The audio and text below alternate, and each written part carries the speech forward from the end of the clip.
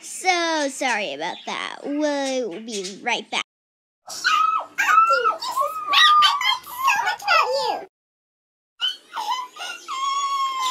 Guys, I'm so sorry about that. Guess we're gonna end this video here.